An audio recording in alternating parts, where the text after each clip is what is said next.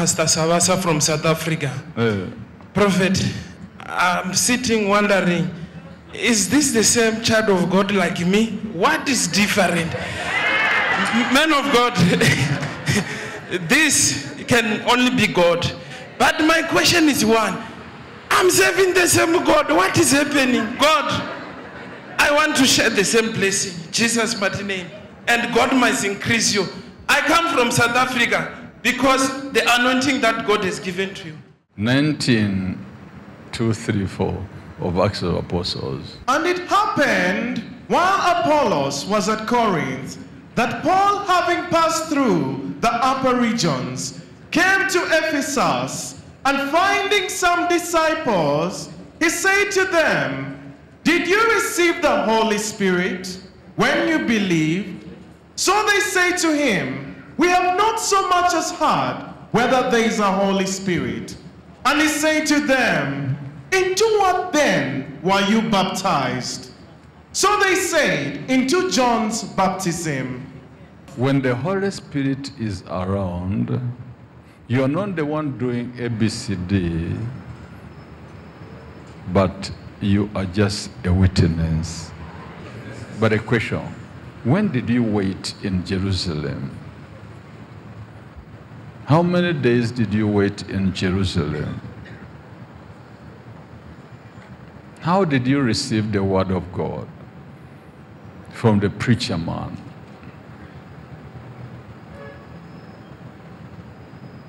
How did you separate from him? Because of misunderstanding. What is the origin of your gospel? The person ordained me is my father. You're your father. My father is a pastor in South Africa. Uh-huh.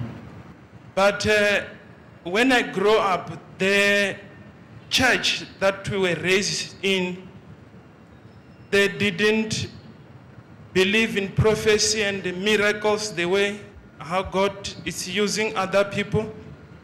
And after being baptized and ordained, I went and started a ministry. You were baptized to enter into that, what they were believing in. They were not believing in miracle, no wonder, no, no Holy Spirit. Here you are, you want to be like Kakande. Next to me is my wife. Man of God, I saw in the vision, in my heart, I was crying, God, I want you to locate me. I want to be baptized by the Holy Spirit. And you came and, and, up and pick me up. You said, I must, I must come stand next to you. You wanted to impart me, but your way, you take off the top jacket. It's like you wanted to give me a thousand. You unbutton the first button. As you started to unbutton, uh, Prophet T.B. Joshua appeared. And then he said, Stop! Who said you must do that? His anointing is different. And then you put the jacket back like this. And uh, He said, I want to be like you. But look at it. He was already told, no, he has another. Another what? I have a different calling. Prophet T.B. Joshua said what? You must, you must stop. Just do as the Holy Spirit is telling you what to do. But what did I say? You say that said he has a different calling, he has a different father. But he too, he knows in the dream that I was stopped from giving him anything because he has a different Father. This is what the Bible says, 2 Peter 1 20, 21. Listen.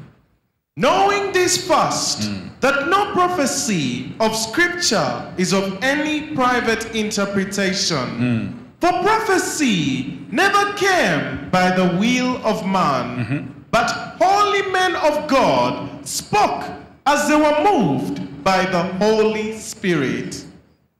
They spoke as they were moved by. So when he came before me, I said, No, sir, you have a different calling. You have a different origin. Once upon a time, there was a medium young pastor. He was a preacher man, preaching too much, but he got a problem with his wife. His relationship was no good. Let's start from that one. Sometimes he could put on a gown. I can't remember. He was on fire preaching. Sometimes he could come to the small town and preach near the tree. So brilliant. At 17 years, you met this pastor.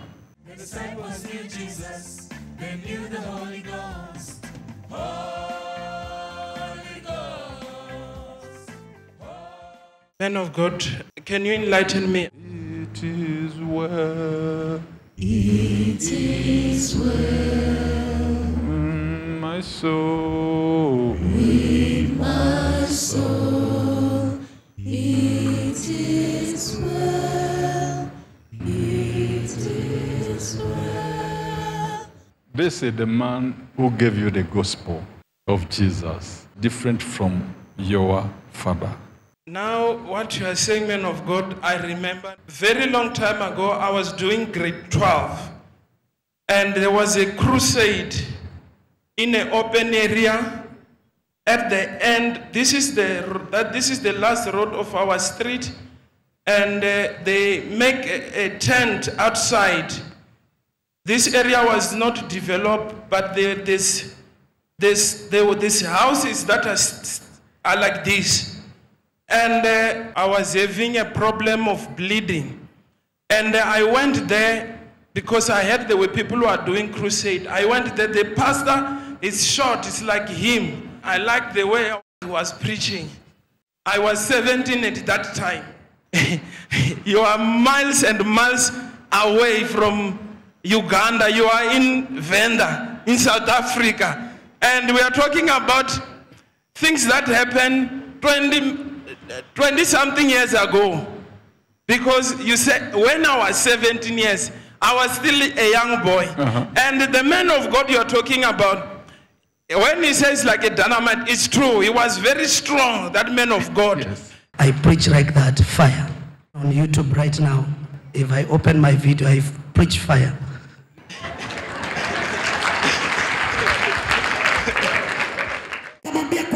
biashara utakuwa ni wakushinda maadui, nami nakutangazia hapa. Have you seen the gown?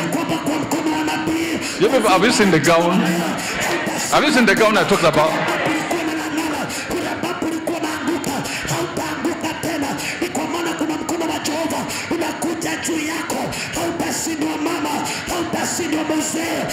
Wa Jehova akiwa yako. You are speaking about me. Have a problem with my wife. This is why I'm here. I want to confirm another detail. As I was coming here, I met a man and he told me when he came to my city, he was young. I am the one who took him and began to teach him the word of God. I didn't recognize him. You have told him that that man is the one who talked to him about Jesus.